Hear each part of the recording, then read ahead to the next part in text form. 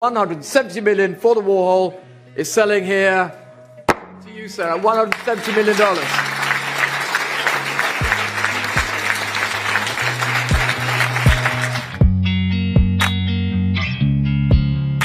In 1986. Where should we start next?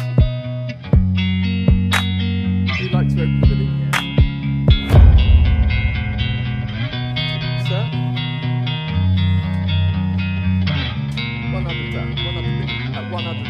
At 110 million, 110 million, 120, at 120 million, the gentleman's bid here, at 120 million, 120 million,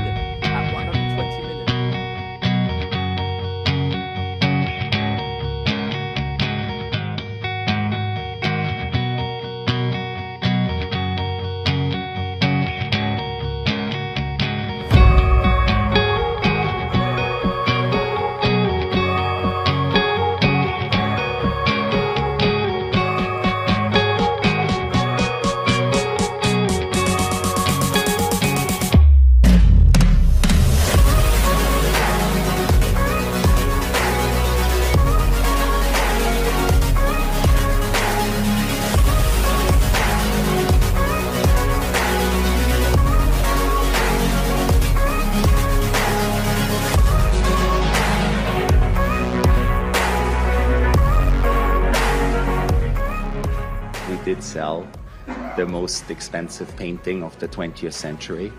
Uh, I'm very proud of that, uh, and along with my team, I think everyone is very proud of that. This is an, this is a big achievement. Um, that is not on me, but just on Warhol and Marilyn.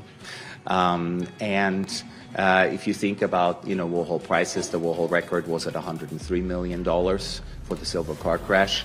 This almost doubled it. Um, and again, 20th century um, works of art, American works of art, it's the highest price ever paid, uh, close to $200 million.